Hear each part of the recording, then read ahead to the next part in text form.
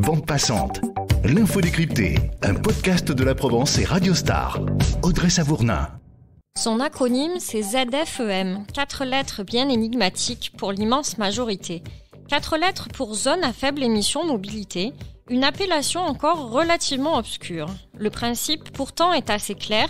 Une ZFEM, donc, c'est un périmètre urbain délimité dans lequel ne peuvent circuler que les véhicules les moins polluants. Un dispositif étudié à Aix et qui devrait entrer en vigueur dans le centre de Marseille d'ici septembre. Une consultation vient de débuter sur ce projet. Tout citoyen a jusqu'au 1er mars pour faire part de ses observations et propositions, et il y en aura forcément. Car si la volonté d'améliorer la qualité de l'air est difficilement contestable, la ZFEM reste contestée, D'abord parce que les transports en commun offrent encore trop peu d'alternatives à la voiture, ensuite parce qu'elle impactera essentiellement les automobilistes propriétaires de véhicules vétustes qui n'ont bien souvent pas les moyens de les remplacer. Lutter contre la pollution sans exclure les plus pauvres, c'est tout le défi de cette ZFEM. Et c'est le thème de ce nouvel épisode de Bande Passante.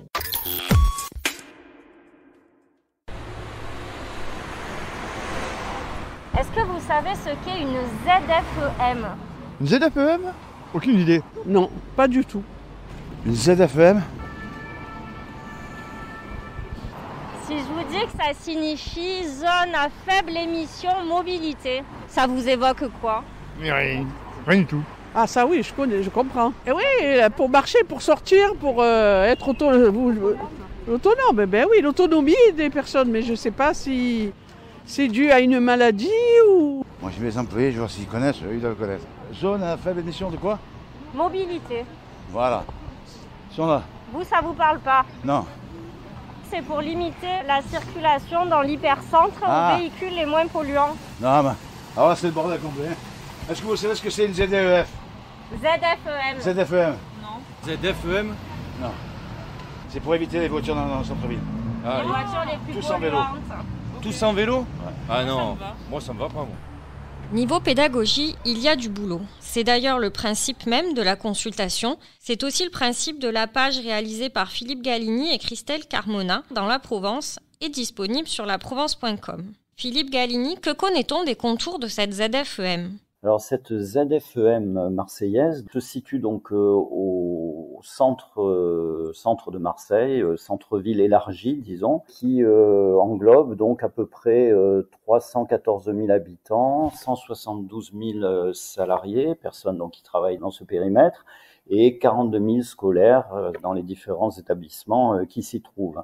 Pour entrer un peu plus dans le détail du périmètre, cette ZFE donc va de l'avenue du Cap Pinède jusqu'à l'avenue du Prado, donc le deuxième Prado, en passant par les boulevards euh, Capitaine Gèze, boulevard de Plombières, l'avenue Alexandre Fleming, les boulevards Françoise Duparc, Sakakini, Jean Moulin et, et Rabateau.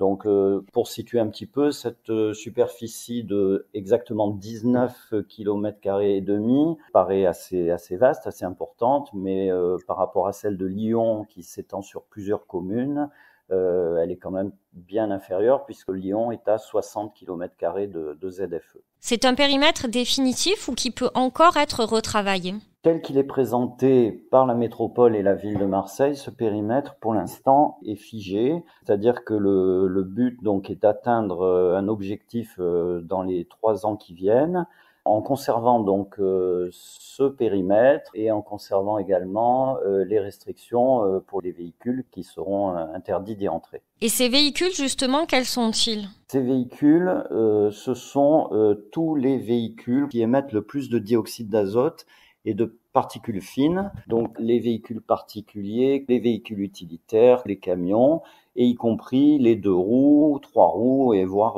quatre roues. Donc euh, ce niveau de pollution est déterminé comment? En fait, il est déterminé euh, par l'âge du véhicule et plus précisément par la date de sa première mise en circulation est attribué euh, au véhicule une, une catégorie de pollution et cette catégorie de pollution est identifiée par une vignette qui a été baptisée vignette critère. Et cette vignette donc comporte euh, six catégories de 0 à 5.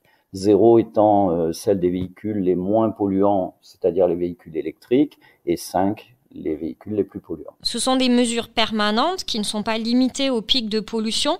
Quand sont-elles censées entrer en vigueur précisément? Alors l'entrée en vigueur de cette ZFE est prévue pour le 1er septembre de, de cette année, donc 2022, avec comme première catégorie de véhicules qui sera exclue du périmètre la catégorie critère 5, c'est-à-dire vraiment les véhicules les plus polluants. Et ensuite, on, on a une, une, progression année par année avec chaque 1er septembre une catégorie supplémentaire qui va être euh, éliminée. Donc au 1er septembre 2023, ce sera la catégorie critère 4 et au 1er septembre 2024, la catégorie critère Concrètement, ce sont les véhicules les plus vétustes qui vont être exclus.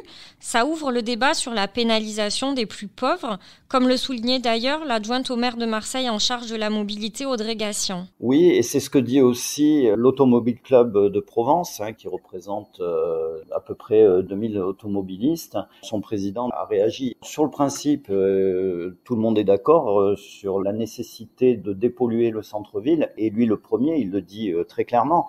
Mais en revanche, euh, il est, très réticent sur deux points, c'est-à-dire le périmètre de la ZFE qu'il estime beaucoup trop étendu, et puis surtout euh, la brutalité, enfin c'est les termes qu'il utilise, la brutalité de la mise en place de cette mesure. Et on en vient effectivement aux conséquences pour les propriétaires de véhicules polluants, qui sont souvent euh, des personnes qui n'ont pas les moyens d'investir dans un véhicule neuf de nouvelle génération.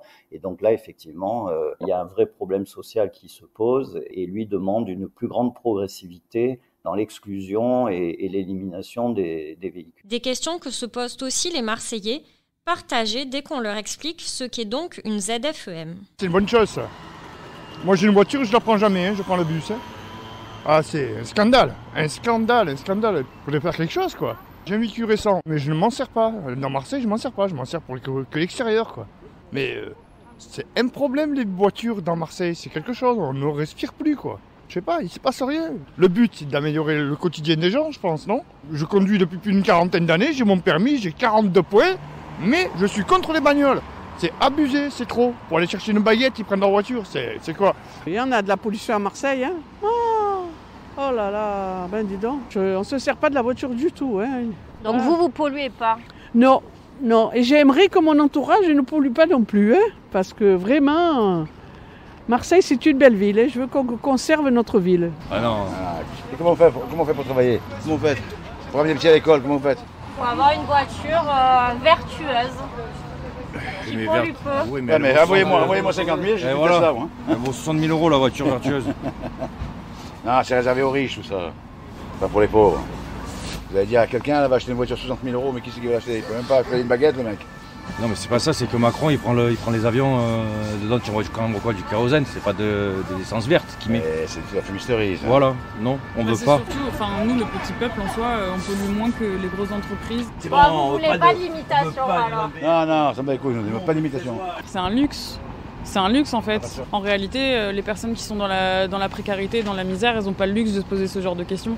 Un luxe. Philippe Galini, est-ce que des aides financières sont envisagées? Il y a des dispositifs qui existent hein, déjà euh, pour euh, la, la, conversion de véhicules polluants en véhicules qui, qui le sont beaucoup moins. C'est déjà le cas dans d'autres ZFE en France. Donc là, on ne peut pas savoir encore quelle sera exactement la forme de cet accompagnement. On parle éventuellement d'un guichet unique. Euh, tout ça est à définir dans, dans les semaines qui viennent. Et est-ce que l'on connaît les sanctions pour les personnes qui circuleraient dans la zone sans avoir la vignette recommandée? La verbalisation euh, sera effectuée par l'ensemble des forces de l'ordre, c'est-à-dire aussi bien la police municipale que la police nationale et que la gendarmerie. Et on sait que le PV actuellement est de 68 euros pour un véhicule euh, circulant euh, dans la zone interdite alors que sa vignette ne le lui permet pas. Avant toute chose, il va falloir imposer cette vignette qui n'est aujourd'hui collée que sur 30% des pare-brises. Oui, tout à fait. Cette vignette donc euh, est déjà devrait être déjà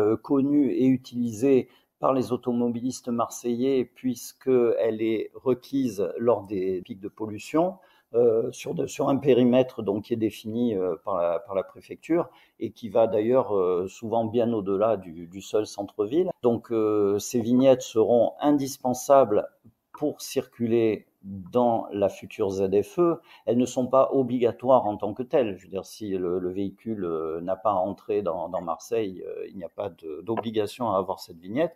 En revanche, il faut absolument qu'elle soit collée sur le pare-brise euh, dans le périmètre. c'est une vignette effectivement qui est très peu répandue actuellement. il y a très peu de demandes qui sont faites aux services qui les délivrent. Et, c'est pourtant bon, quelque chose d'assez simple, puisqu'il suffit de se rendre sur le site certificat-r.gouv.fr et elle est euh, commercialisée au prix de 3,67 euros.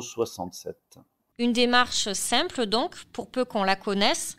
L'heure est à la pédagogie, Christelle Carmona. Oui, ça fait partie euh, du dispositif. Il y a une longue phase de pédagogie. On l'a observé euh, dans les périmètres déjà existants, dans les ZFE déjà existantes, enfin déjà lancées, que ce soit à Paris, à Lyon euh, ou à Grenoble.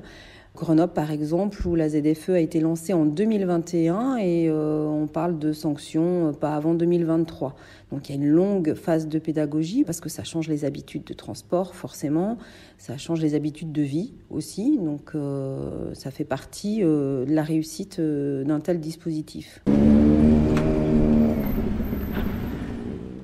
Les associations de défense de l'environnement sont-elles convaincues? Du côté, euh, par exemple, de, France Nature Environnement euh, des Bouches-du-Rhône, qui est une entité qui regroupe une cinquantaine d'associations de défense de l'environnement, euh, on prépare l'enquête publique, c'est-à-dire qu'il y a des réunions de préparation pour parler d'une seule voix. Pour eux, c'est un dispositif qui vient dans la logique même de nos problématiques actuelles. La seule réticence qu'ils peuvent avoir, c'est qu'effectivement, dans cinq ans, il faut pas qu'on se retrouve avec le même nombre de véhicules euh, propres à l'intérieur de Marseille. Le but de ce dispositif, c'est de baisser, euh, d'améliorer la qualité de l'air évidemment, mais aussi de baisser le nombre de véhicules euh, à l'intérieur du centre-ville. Donc oui, ils sont dans l'attente et surtout ils sont dans la préparation de l'enquête publique qui pour eux était une première étape euh, nécessaire et, très importante. Pourquoi? Parce que en fait c'est euh, cette enquête publique qui va déterminer ce qu'on met à l'intérieur du dispositif, c'est-à-dire que tout peut bouger. Donc en fait, c'est important que tous les Marseillais euh, puissent participer à cette enquête publique parce que euh, ce sont des, hum, des, dispositifs, des dérogations qui peuvent euh, être aménagées, construites pendant ces, mois de réflexion. La concertation a, pour but non seulement de faire émerger les les remarques, les revendications et les, les, critiques que la, la, population peut adresser donc euh, aux collectivités territoriales, que ce soit la métropole ou la ville de Marseille. Philippe Ganini. Mais elle va surtout permettre de préciser les usages, euh, des conditions de, de, de circulation particulières ou d'exclusion particulière euh, on pense notamment aux personnes qui, habitent dans la ZFE et qui ont besoin donc de leur véhicule pour euh, entrer ou sortir, euh, aller travailler à l'extérieur de Marseille ou, rentrer de leur, de leur travail. les véhicules particuliers, notamment les véhicules de, collection, qui, vont sans doute bénéficier d'exemptions. la mise à disposition également des parkings relais euh, ce qui suppose également euh, sans doute un, développement ou un renforcement euh, des liaisons de, bus, de métro et, de tramway qui, sont forcément liés à, la mise en place d'une ZFE. À Marseille, chaque année, on compte 2500 décès prématurés à cause de la pollution. Mais la ZFM est-elle pour autant un bon outil? Oui, pour Dominique Robin, directeur d'Atmosud, Observatoire de la qualité de l'air. Alors les, actions en faveur de l'air, euh, d'abord elles sont utiles parce qu'effectivement elles renvoient à notre santé tout simplement. Hein. au quotidien, euh, l'impact de la mauvaise qualité de l'air sur notre santé, ce sont des toux, sont des crises d'asthme. Donc euh, oui, l'action en faveur de l'air, elle est, est, bénéfique. Et la place de la ZFE, c'est un élément parmi finalement tout un faisceau d'actions qui aujourd'hui s'organisent pour faire en sorte que notre air soit meilleur. Donc les, solutions pour améliorer l'air, donc ce sont des solutions technologiques, on le voit bien. Euh, il y a aussi les carburants qui évoluent, l'aménagement du territoire, et puis finalement les pratiques. Et donc c'est vrai que la ZFE, elle vient dans les secteurs euh, où les enjeux sont les plus forts, parce que les niveaux de pollution sont les plus importants. Euh, beaucoup de véhicules thermiques encore, et puis ce qu'on appelle la rugosité urbaine. En fait, la rugosité urbaine, pour schématiser ça, c'est les villes méditerranéennes, elles sont très denses, hein, donc c'est le cas de Marseille. Et donc c'est vrai que dans ces situations, l'air a du mal à être renouvelé. Et ce qu'il faut bien comprendre, c'est que la quantité de véhicules thermiques va pas avoir le même impact que sur des routes très ouvertes. Hein, et donc ce sont vraiment des situations pénalisantes.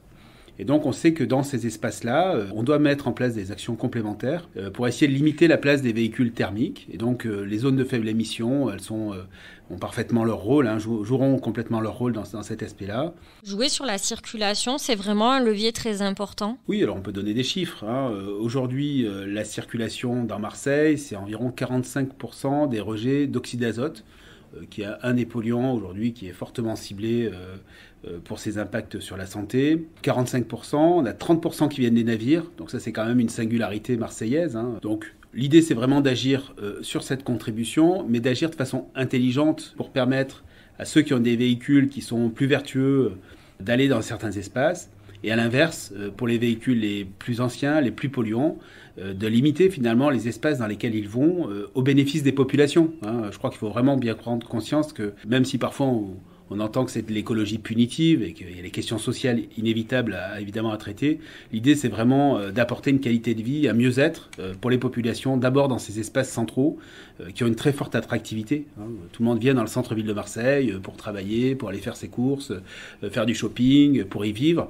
Et donc, on sait que c'est là que cristallise finalement la plupart des questions en matière de, en matière de pollution atmosphérique. D'autres villes ont déjà mis en place des ZFEM.